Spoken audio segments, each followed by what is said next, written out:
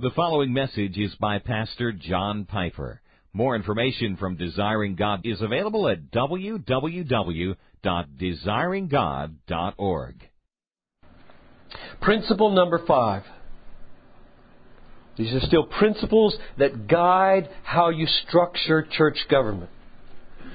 Not inconsistent with this equality of the priesthood of the believer and don't have a father and don't have a rabbi and don't have a leader because you have one rabbi and one father and one leader. Not inconsistent with that equality, God has nevertheless ordained the existence of officers in the church, some of whom are charged under Christ with the leadership of the church. So we, we mustn't go the, I'll say it, the Plymouth Brethren route. Now, I may not know the, the brethren. Any brethren among us? Okay, now correct me here. Just help me, because I, I probably put my foot in my mouth here. And they're all different kinds of brethren. But now they're no appointed preaching elders or clergy. Tell me. Just give me a little one minute summary of the way leadership happens in the brethren. Any of you?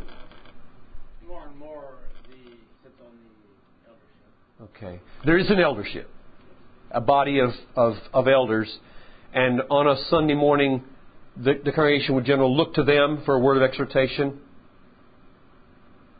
Not Or- necessarily. Not necessarily, it could be the whole group. Yeah. But more and more you're saying, is that, is that because of a sense of biblical pressure or just practicality, or both? I guess I would say practicality. Yeah, I think de facto that's. Not very spiritual. Well, no, but, but in reality, the Holy Spirit does that sort of thing in any group of people. In any small group or large group, there rise to the surface those who are more or less gifted at helping people with the Word. Now, what I was getting at when I, when I said brethren, and, and maybe my ignorance here should just keep it general, whatever the group is that would tend to argue that the priesthood of all believers minimizes the role of leaders, which this group here says there are elders in that group, and so that's not the case with the way I was thinking about it. But if you know of any group like that, this text, uh, these texts here, I don't think will allow us to say all believers are priests, don't have anybody over anybody else, and therefore there shouldn't be any officers or anybody with any authority in the church. These texts point the other direction, so let's look at them. 1 Timothy 5:17. The elders who rule well are to be considered worthy of double honor, especially those who work hard at preaching and teaching. So I would find that to be a biblical impulse pushing a group to say that there are some who rule or govern. That's a little bit of a loaded word, isn't it? Rule. Uh, probably find a better translation than that. Govern, oversee. And some of those work hard at logo kai didaskalia. I don't know if preaching is the right translation there or not. Just word and teaching. Word and teaching. So clearly, some of those exercise their governing status, or that's not a good word, uh, office as teachers. Not all. And not all in that group have the same role in teaching, though they're all, we will see, to be apt to teach. But not all labor as hard in preaching and teaching. So I find my job description right here at Bethlehem. That's who I am. I'm one of these people.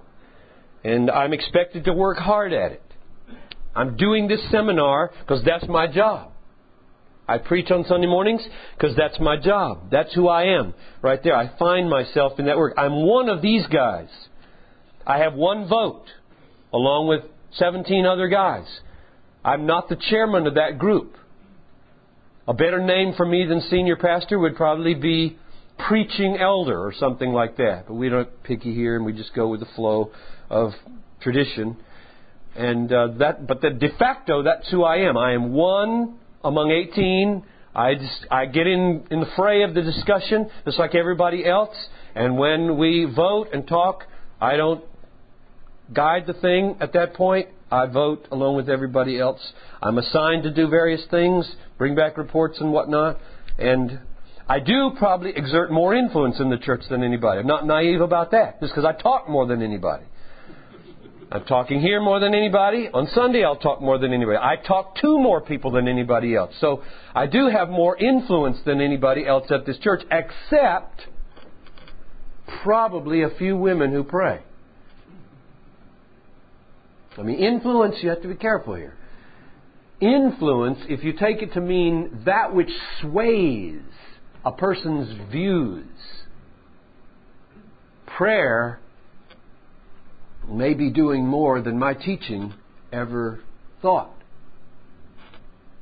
So I must be very careful when I say I exert more influence here than ever. Probably, I, I probably better qualify that by saying, as far as the influence of teaching goes, I suppose my influence is greater, but it may not be such that my agency in the kingdom is bringing about more changes in people's lives than some unbelievably powerful prayer warriors here do. 1 Thessalonians 5:12 just continuing on with texts that show that there are leaders in spite of equality but we request of you, brethren, that you appreciate those who diligently labor among you and have charge over you in the Lord and give you instruction. There it is. Charge over you, instruction. 1 Thessalonians 5:12 pointing that there are leaders in the church and Paul means it to be that way. Another text in this regard. Hebrews 13:7 Remember those who led you who spoke the word of God to you and considering the result of their conduct imitate their faith. So leaders and again a few verses later in Hebrews 13:17 Obey your leaders and submit to them for they keep watch over your souls as those who will give an account. Let them do this with joy and not with grief, for this would be unprofitable for you. So clearly, there are leaders in the church, according to this text, not just everybody having the same office or role. And then, uh, lastly, on point five, be on guard for yourselves and for all the flock among which the Holy Spirit has made you overseers. So here's a group of people that came down from Ephesus, gathered on the beach, and he says, You have been made overseers to shepherd the church of God, which he purchased with his own blood. So he thinks of shepherds and sheep. Now I'm a shepherd, but I am surely a sheep. And I, I am a sheep before I am a shepherd. And to me, to be a sheep is vastly more important than to be a shepherd. Can you think of a text in Luke that says something like, Be glad that you're a sheep before you're glad that you're a shepherd? You know what text I'm thinking about? Exactly. Is that chapter 10 when the 70 come back and they're thrilled because God worked. And Jesus said, I saw Satan fall like lightning in your ministry. I think that's what he means. And yet, he says, do not rejoice at this that the demons are subject to you. In other words, that you have powerful ministry effect. But rejoice in this, along with all the other saints, your name is written in heaven. I tell you to be the sheep of God to be one of his lambs is 10,000 times more precious than to be a pastor. That's my ticket to heaven, not pastoring. To have been a chosen lamb rescued from the thicket and the wolves is my joy. Principle number six. Under Christ and His Word, the decisive court of appeal in the local church in deciding matters of disagreement is the gathered church assembly. Here my Baptistic colors are showing. This is implied, first, in the fact that the leaders are not to lead by coercion, but by persuasion and free consent. 1 Peter 5 3. Second, in the fact that elders may be censured. There's some process. Elders are not God. There is a way to correct elders and to rebuke elders and remove elders. And third, in the fact that Matthew 18:15 to 20 and 1 Corinthians 5 4 depict the gathered church assembly as the decisive court of appeal in matters of discipline. Now, those are my three pointers toward congregational church government. And here I say pointers and not proofs, just because, frankly, I don't want to die on this hill. I really don't. I'm going to live on this hill. I'd, I'd rather not die on this hill. There's a lot of hills I'd die on, believe me. like I would die on the hill of foreknowledge of God. But I, I'm not sure I would die on the hill that a body of elders can't excommunicate somebody. We don't excommunicate by the eldership, we excommunicate by the body. We admit through the action of the body and we evict or dismiss either happily or unhappily, through the action of the body. Now, the, the three arguments I've got here, maybe there are a few more. These are the ones I'm able to pull together. The last one seems to be the most compelling to me. I'll read the text that point in this direction, and they, they move from the weak to the strong, I think. Therefore, I exhort the elders among you Shepherd the flock of God among you, not as lording it over those allotted to your charge, but proving to be examples to the flock. There's just a spirit there that points towards look, the church has to be excited about this leadership, and therefore there needs to be certain kind of of interaction there that might open the door to congregational life, that is congregational approval, but that doesn't prove anything as far as the governance goes. Let's look at the next one. 1 Timothy 5:19 to 20. Do not be do not receive an accusation against an elder except on the basis of two or three witnesses. Those who continue in sin rebuke. Now he's talking to Timothy here. Timothy is an apostolic delegate, you might say, or legate or representative in Ephesus. Here's where your Episcopalians would say you have a pointer towards the, the monarchical bishop. You have a, a Timothy. You have a Timothy over a city who is to discipline elders in churches. So there they would say, see, you got a bishop. You got a district bishop. Well, it's, it's possible. And that's why I say I just, I, I don't want to wage war on these issues. There are more important issues to wage. Eh, I think you have to decide what you see here and, and then begin to structure your church accordingly. Or if you don't have a church, you're a layperson and you want to align with the church, then you got to think through with what kind of group am I going to align if I want to be in a biblical group or a more biblical group.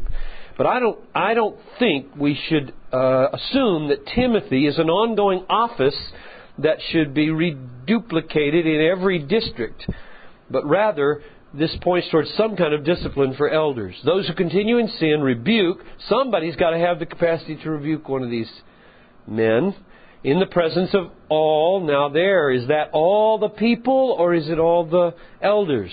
So that the rest, is that all the people or all the elders, will also be fearful of sinning. That sounds like elders. The rest will be fearful of sinning.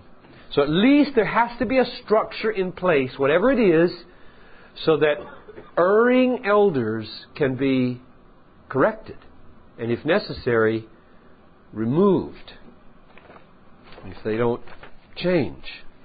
Yes, go ahead. Could it be that Diotrephes had missed that congregational rule? Hmm.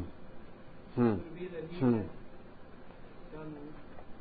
I had never thought about that as a possible pointer towards congregational life. So he's assuming a kind of role that he shouldn't? he shouldn't. Yeah. Give us the text on that and we can all check it out. Third John, uh. Yeah. Third John, one chapter, verse ten. Verse ten. So check that out. Think that through as as another possible way of, uh, and any other evidences uh, that you have that might point in this direction. We can share with each other. Anybody want to? Let me read. Let me read the last one that I have. Which this one to me is the one that compels me. These two texts. Matthew 18:15 to 20. If your brother sins, go and show him his fault in private. If he listens to you, you have won your brother. But if he does not listen to you, take one or two more with you, so that by the mouth of two or three witnesses every fact may be confirmed. If he refuses to listen to them, tell it to the church.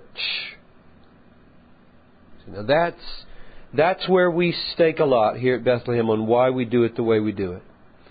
Tell it to the church.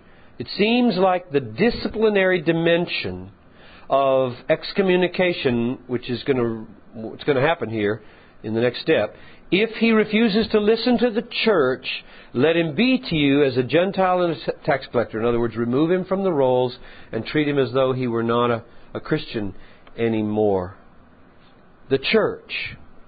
So there are, there are many churches who, who interpret that to mean the church as represented by the ruling council. Because it is just so dirty. It's just a dirty mess. And I, frankly, I would love to give it that meaning. I would love to do all of our disciplinary work at Bethlehem. I think we'd do it better. I think we'd do it more quickly. I think we'd do it on the people we ought to do it if we didn't have to time it so that you hit congregational meetings and you have to so sensitively, and with sensitivity to being sued. You have to handle these things with such care today. How are you going to get the congregation to act on somebody who is an adulterer or, or whatever? So if, if I felt free to give the word church here the meaning church expressed through its duly appointed officers. That would simplify my life a lot, our life a lot. And, and I would respect you if you if you made that choice.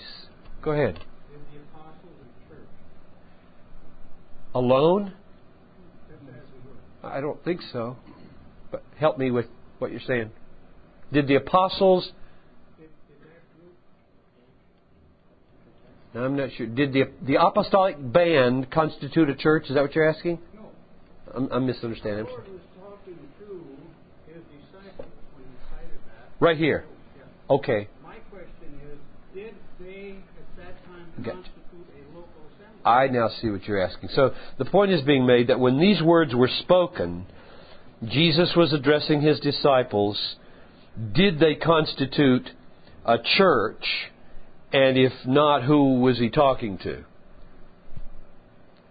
Um, well, in his own time, I would guess ecclesia here, I assume that's the word, and check it out, um, would be a, the loose band of his own. But that's a good question. How, how was this to be obeyed, obeyed before Pentecost or before the constitution of local churches? Um, I'm not sure. What would be what would your answer be? I think they did. They constituted a church. I believe they did. Okay, and I don't have any problem with that. They they they ate the Lord's Supper together. I mean, maybe that maybe it was the way to think of it is as Jesus and John the Baptist were baptizing, a new people of God were being called out. I don't know if this is the way you think. This is the way I think. That John the Baptist comes on the scene. He looks at the people of God, Israel, and he knows this people are apostate by and large. I'm going to assemble a new people of God. And I'm going to do it with a new sign, not circumcision, and we're going to baptize here. And so he starts baptizing, and the Jews just go ballistic. Who do you think you are? We have Abraham as our father.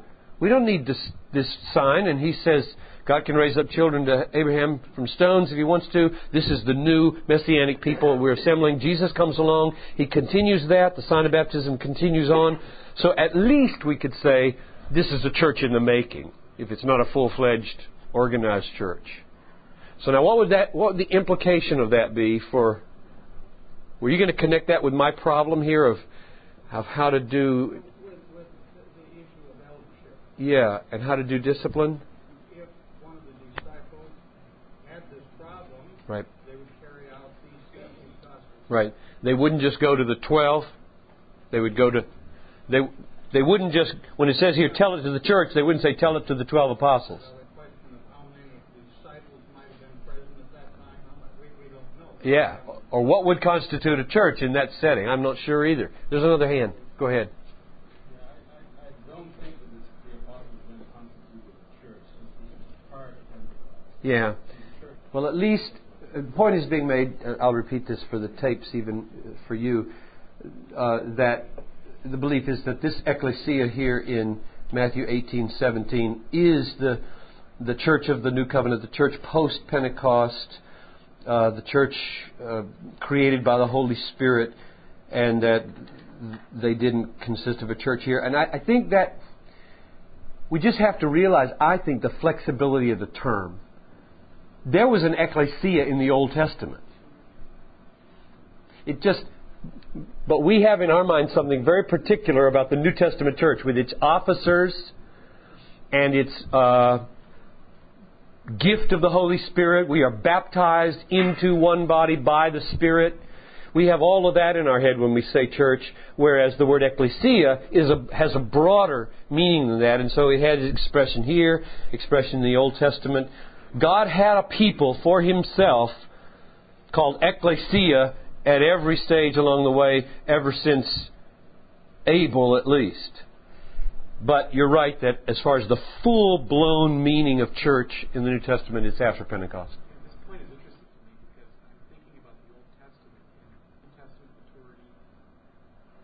There are so many different ways of handling problems in the Old Testament that uh, fall by the wayside now that um, I wouldn't know how to answer that question. There's so many different structures, and for different kinds of sins, you go to priests. For different kinds of sins, you do one kind of sacrifice, and for different kind of problem, you stone. For another kind of problem, you put outside the camp, and for another kind of problem, you're unclean for a certain number of days. And I mean, it's just it is so complex, and thank goodness with the turn in redemptive history and the coming of Christ, um, many of those things, most of those things, have uh, gone by the side. So, anyway, there's an argument for congregational church government. Here's another one. In the name of our Lord Jesus, this is 1 Corinthians 5 4 5. In the name of our Lord Jesus, when you are assembled, you Christians, church, when you're assembled, and I with you in the Spirit, with the power of the Lord Jesus, you are to deliver such a one to Satan for the destruction of his flesh, so that his spirit may be saved in the day of the Lord Jesus. So as though it's not just the elders who do this, it's when the church is assembled that you all together do this act of discipline.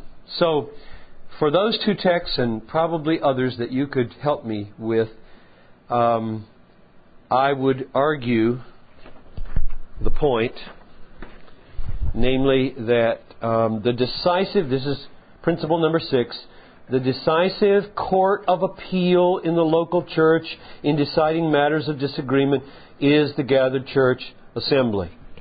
And I think that has definite implications about the selection of leadership as well. Number seven. The local congregation, therefore, should call and dismiss its own leaders. Now, I'm saying that's implied in the preceding principle. If it's not, I don't know where to get it. The local congregation should call and dismiss its own leaders. Now, in the Episcopal form of church government and in the Presbyterian form of church government, um, as I've asked around, besides reading, generally there's a kind of hybrid thing that goes on here. As I've said, now, can, can a local presbytery who ordains in the Presbyterian church, the presbytery ordains, not the local church in the Presbyterian church, the presbytery, which is presbyters, elders from many different churches in some kind of synod, or what's the intermediate? Presbytery. The presbytery, they ordain.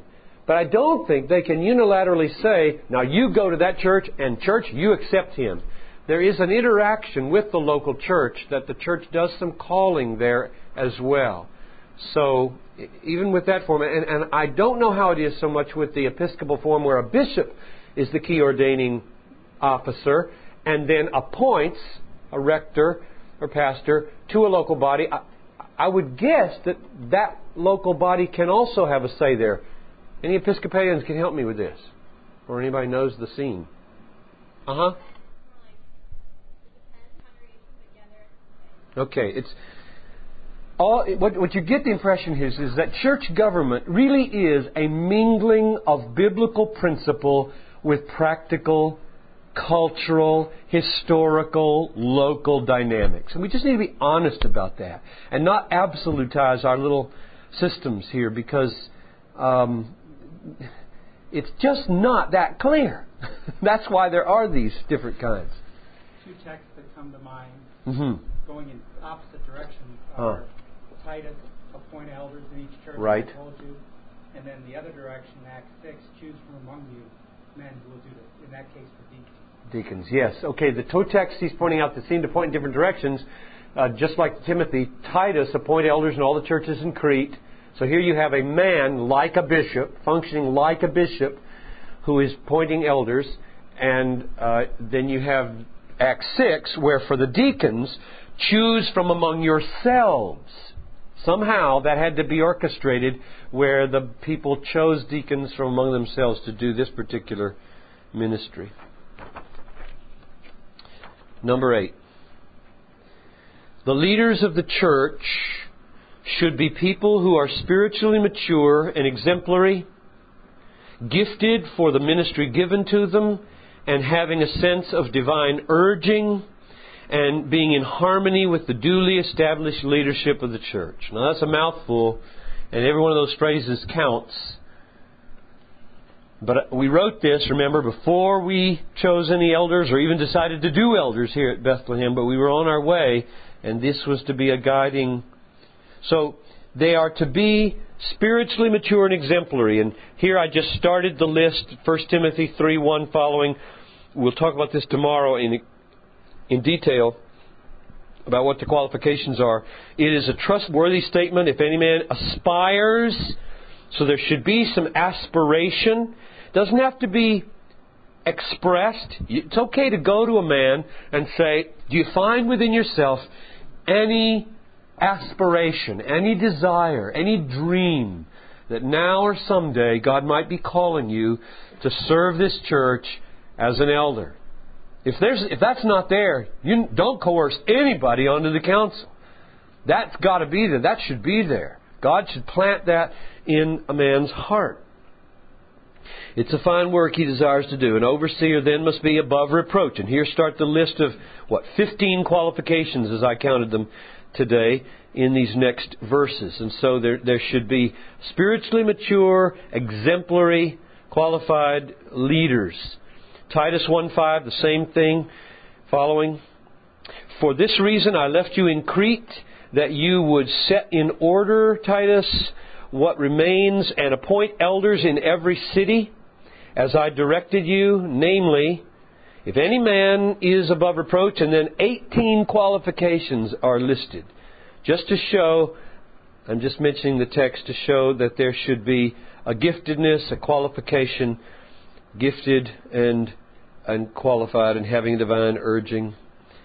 Um, a few other texts to point in the same direction. Just this giftedness idea in, in Romans 12, 6 to 8. If we have gifts that differ according to the grace given to us, each of us is to exercise them accordingly. If prophecy, in proportion to faith. If service, in serving. He who teaches, in teaching. He who exhorts in his exhortation, he who gives with liberality, and so on. There should be a giftedness when it comes to teaching and and uh, leading. He who leads. Or Acts twenty twenty eight. Be on guard for yourselves and for all the flock among which the Holy Spirit has made you overseers. Now we got to figure out a way in our churches to to see how that happens. How does the Holy Spirit do this? You know, I've been I've been talking up to this time like, well, we set in place this constitution and we did these structures and we did these things, and here the text says God did it. Can we say that at Bethlehem? We have 18 men who are elders. Can we say the Holy Spirit made them overseers? We should. We should be able to give an account for how we submitted ourselves in this process and tried to design a discerning process that was the Holy Spirit's way of getting whom He wanted onto this council. That's really big. Surely it will involve huge prayer, fasting, biblical. He, he inspired the Holy. He inspired the Bible, and so to follow the Bible is to follow the Holy Spirit. And so there needs to be, on the part of the aspiring elder, much prayer and a sense of Holy Spirit compulsion and urging towards I sense that someday this will be right for me, and I believe that if it is, and we have spiritual elders, they'll discern that, and they'll come together, and then the people will discern that, and in all that mutual prayerful discerning with prayer and fasting, the Holy Spirit will have put in place His, His elders. Somehow that needs to be thought through and worked through, and, and if you're in a church that isn't as spiritual as you'd like, teach on texts like this and just plead with the people that we have structures and we have prayer meetings and we have disciplines in this church that will lay ourselves open to the leading of the Holy Spirit in these ways. Philippians 2 2 is a unity text. Make my joy complete by being of the same mind, maintaining the same love, united in spirit, intent on one purpose. Now that's why I said at the end of that principle, number eight, that leaders should be in harmony with the duly established leadership of the church. I know we're running a risk here, and I've been accused of it, so I know it keenly. We're running a risk of, uh, what do you call it when it's negative? Kingdom building or empire building or if you have a vision of God, of doctrine, of life, of mission, and it's strong and it's powerful, you believe it's biblical, you want to preach it, you want to cultivate it, you want to build it, you run the risk of manipulating to get it. Right? If it's God's, you don't have to do that. If it's God's, you don't have to ever do the political thing and strategize and kind of do the, the subtle lunch meetings and the little conversations in the corner and all the things where you just make sure what gets said gets said in the right places so that everything is kind of humanly calculated to get these people where you want them saying what you want them to say. That's evil. But on the other hand, I think it's folly to say, oh, what we need on the elder is people with lots of different theologies, lots of different philosophies of ministry. That's chaos. It, churches are wounded and hurt year after year because there's no deep, profound, united leadership in the church that's, that's saying, here's the vision, let's do it. And so there's a balance there. And, and uh, one of the reasons I drove with all my might for those 10 years for a council of elders where I would be one among 18 or 20 or 15 or whatever is so that I could build the vision together with them through prayer and study into a group so that if I drop dead, it's not housed in a man, it's housed in a body of leaders. And I think that's true today. If I dropped over of a heart attack right now, the elders that we have, and most of them are right here in this room, would not miss a beat as far as how to lead this church, as what this church stands for, as what the next pastor should have as his passions and so on. If they do a, a next pastor like this one, they might structure it a different way. But I, I feel so good that, that the mission of the church, the philosophy of ministry, the doctrinal coherence, while there's lots of variety in this church out there in the boondocks and a lot of personality variety on staff and eldership as far as theological harmony and philosophy of ministry harmony, there's a lot of unity at the center. And frankly, I will work hard to see that it stays that way. I hope I don't work politically to see that it stays that way. I will pray hard. I will preach hard. I will teach hard. I will pour my life out for those elders to help them see what I see. And then they'll vote. and they'll choose who the next elder slate will be to put before the people. They won't be my handpicked people.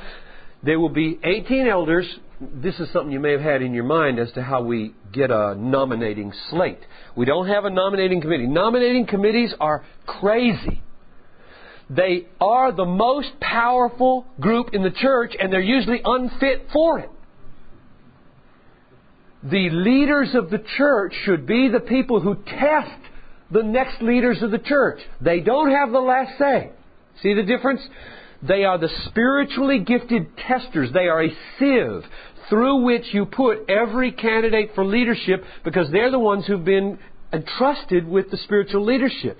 But then once they've tested and talked and prayed and met with them and say, no, not you, and yes, you, they lay them before the people and say, you approve or disapprove here, and you must have the last say. And so we, uh, as elders now, we will need about four new elders the next year. We'll need about four more minimum because of who's going off, and we have to have twice as many lay elders as vocational elders. So we're now hard at thinking and praying. We got a list of 60 men, at least, in this church that we're saying, okay, who, Lord? And we're, we're listening to them and, and seeking who might God may call, calling. Go ahead.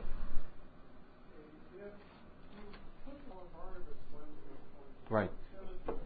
Precisely. There are three of those verses. Namely, one to Titus that says, uh, appoint elders in every city, and one to Timothy, do it at Ephesus, and then uh, Acts 14:23, Paul appointed elders in every city. And my answer is, uh, I've already given my answer, but let me try to restate it. Those are either apostles getting the church started, or the apostolic representative. Timothy and Titus were part of the apostolic band to get the church started in Crete. So, for example, if you planted a church in among the Maninka in Guinea, how do you get your first elders? Well, I wouldn't be opposed to jump starting a church. How'd you do it, David? Okay. You said that? You said that? Who do you think you are? well, you are like you are like a Paul. That's who you are. But really my argument is not that's apostolic. There aren't any apostles today, so we don't do it that way. But rather these these other congregationally these texts that point towards congregational life and governance. So it's uh, it's not. I don't have an absolute proof. Just pointers. Go ahead. But aren't you in fact appointing and then it is affirmed by the body? You could you could view it that way. The question was, aren't you in fact appointing and then the body is affirming? We we call it recommending. I think that's the word we use. We recommend to the body, and then they affirm. And you could use the word appoint, but you're right. The language is slippery there. I mean, clearly, we are exercising a great deal of authority at that point in deciding who will be put before the people. But I think we're being honest to our principles by saying those people will have the last say. So that if this body of elders, these 18 guys, start to slip into some heresy or some immorality or some financial shenanigans, and everybody in the church knows this, they can, in our Constitution, unseat us all.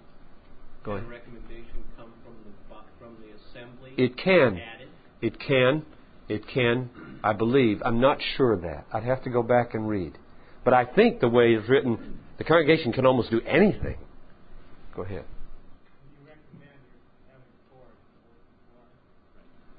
That's right. We don't expect any losers. Is that what you're asking? Choose four out of six? No. No. Uh-uh.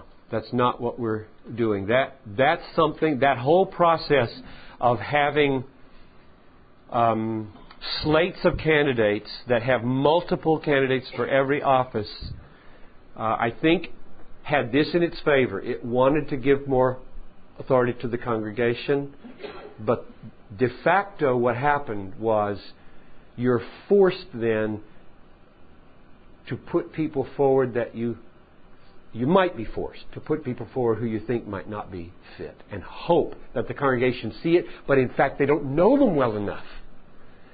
The, the eldership needs to be absolutely certain they've probed into these guys' backgrounds. Nothing's hidden here. This family is, is functioning and, and there's no financial misappropriations and there's no deep seated anger and there's I mean, these things that in a big church like this, the congregation can't know. It's just a safety valve to have the congregation say, Amen.